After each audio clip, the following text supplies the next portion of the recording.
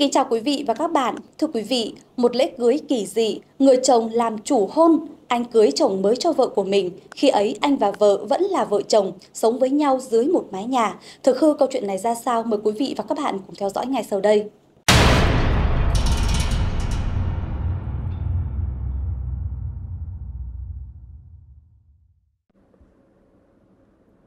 Vợ ngoại tình, chồng cưới luôn người này cho vợ. Cả phường đã kéo nhau đi xem đám cưới kỳ dị được tổ chức tại khách sạn Duy Tân, một khách sạn có tiếng ở thành phố Huế, do anh Lê Văn Hồng, sinh năm 1974, ngụ phường Thủy Biều, thành phố Huế, tỉnh Thừa Thiên Huế, làm chủ hôn. Lạ ở chỗ anh Hồng cưới chồng mới cho vợ của mình, khi ấy anh và vợ vẫn đang là vợ chồng, cùng sống với nhau dưới một mái nhà. Tại đám cưới, anh tặng vợ sợi dây chuyền 5 chỉ vàng cho chị này làm của hồi môn để theo về với chồng mới. Thấy chúng tôi nửa tin nửa ngờ, một người đàn ông quả quyết. Anh là bạn thân của anh Hồng. Chính anh là người đi dự đám cưới do anh Hồng tổ chức cho vợ, cưới chồng khác tại khách sạn Duy Tân.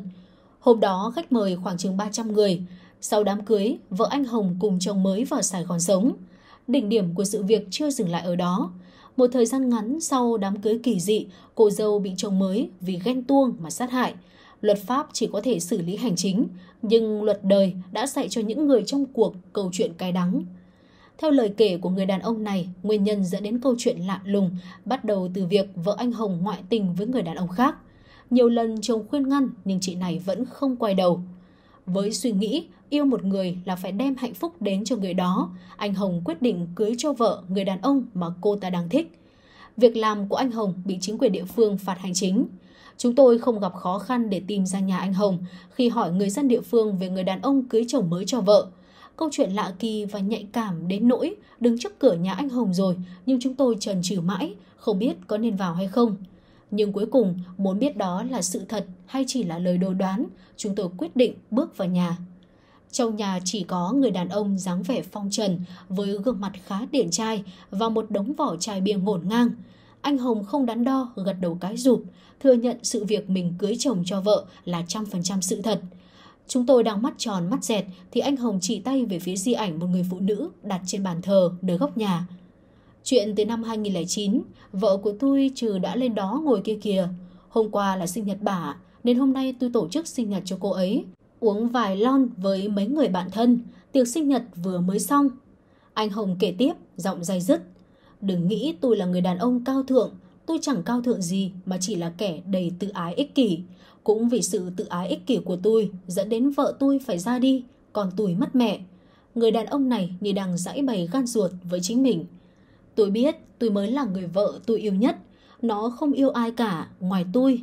Nhưng cuộc sống có những điều phức tạp, khó lý giải lắm. Khi biết vợ ngoại tình, tôi đã năn nỉ một lần, hai lần, rồi ba lần. Sau ba lần năn nỉ không được, tự ái của thằng đàn ông trỗi dậy, nên tôi mới có hành động đó. Ý nói là cưới chồng cho vợ.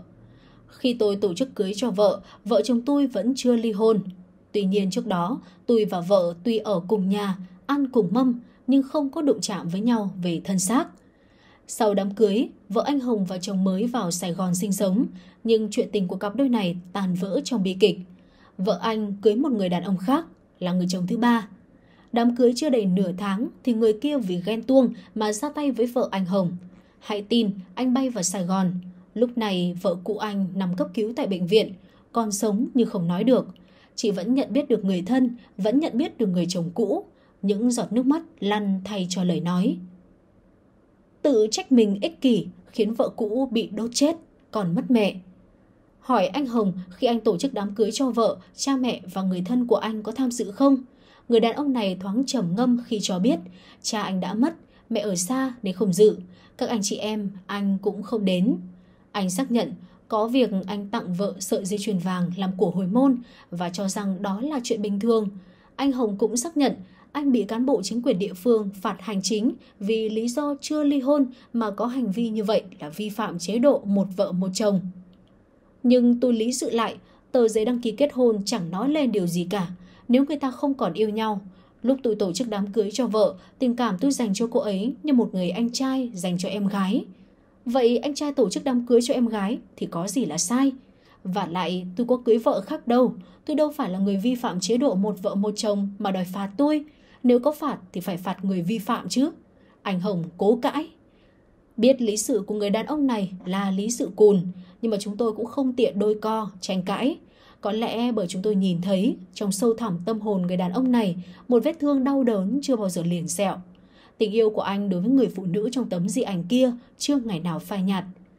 Như đọc được suy nghĩ người khác, anh Hồng khẳng định luôn. Tôi chưa bao giờ hết yêu vợ tôi. Trước đây yêu, lúc tổ chức đám cưới cho vợ vẫn yêu, và bây giờ thì vẫn vậy, không bao giờ thay đổi. Giá như tôi không tự ái vớ vẩn, không sợ người đời chê thằng đàn ông chịu nhục, thì tôi phải hành động khác. Tôi phải năn nỉ vợ tôi nhiều hơn nữa, rằng em hãy nghĩ lại, anh vẫn luôn mở lòng chờ đợi em, còn chúng ta rất cần mẹ. Hôm nay hết lời thì ngày mai còn lời. Nếu từ kiên trì, năn nỉ miết thì cũng nước chảy đá mòn. Chắc chắn vợ tôi sẽ phải nghĩ lại. Như vậy thì sẽ không có việc tôi cưới chồng cho vợ. Vợ tôi sẽ không mấy thảm. Suốt câu chuyện, anh Hồng luôn miệng kết tội là mình ích kỷ mà không một lời hờn trách người vợ phụ bạc. Dù sau đám cưới đỉnh đám, anh Hồng đã làm thủ tục ly hôn rồi lấy vợ khác, sinh thêm một đứa con với người vợ sau. Nhưng khi nói về người phụ nữ đã mất, anh cứ vợ tôi thế này, vợ tôi thế kia. Tịnh không lần nào dùng chữ vợ cũ. Và tất cả những kỷ niệm về người vợ cũ đã quá cố, anh đều rất nhớ tỉ mỉ.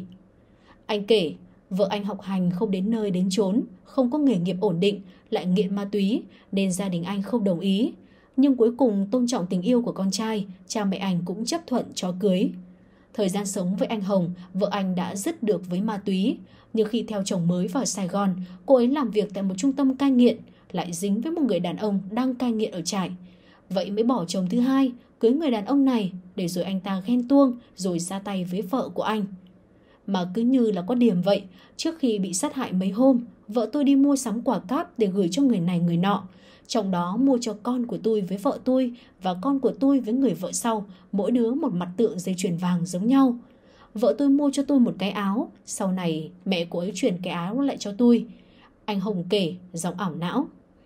Tò mò hỏi, anh đối xử với vợ cũ như vậy, không ngại người vợ đang chung sống với mình ghen sao? Anh Hồng lại lý sự, tại sao lại đi ghen với một người đã mất? Rồi bằng giọng ra diết, anh cho biết mình không bao giờ quên ba sự kiện quan trọng nhất trong cuộc đời. Đó là ngày anh và vợ cũ quen nhau, ngày sinh nhật của vợ cũ và ngày cưới của hai người. Cũng chính tình cảm của anh đối với vợ như thế nên anh luôn cho rằng ngoài anh, vợ anh chẳng yêu ai hết. Chỉ vì cuộc sống có những điều khó lường, đôi khi người ta không thể làm theo ý muốn. Không biết anh Hồng quá yêu người vợ cũ mà biện minh cho những sai lầm của người phụ nữ đó hay có ổn khúc nào mà anh chưa giải bày hết. Chỉ biết trong buổi chiều tà hôm ấy, sau mới lon bia kỷ niệm ngày sinh nhật vợ cũ đã mất, người đàn ông si tình đã không ngần ngại trải lòng rất nhiều điều sâu kín trong tâm can để lý giải vì sao anh lại có hành động ngược đời đi cưới chồng cho vợ. Trong di ảnh, người phụ nữ còn trẻ, gương mặt thanh thoát, nhìn anh Hồng với vẻ buồn buồn. Mà cũng đáng buồn thay, lẽ ra chị đang hạnh phúc trong căn nhà này với tình cảm ấm áp của chồng con, thì lại lầm đường, lạc lối để nỗi mất mạng. Những thông tin vừa rồi cũng đã khép lại chương trình ngày hôm nay của chúng tôi. Cảm ơn quý khán giả đã quan tâm theo dõi. Đừng quên bấm vào nút đăng ký kênh và nút like ở phía dưới để không bỏ lỡ những video tiếp theo. Còn bây giờ xin kính chào và hẹn gặp lại.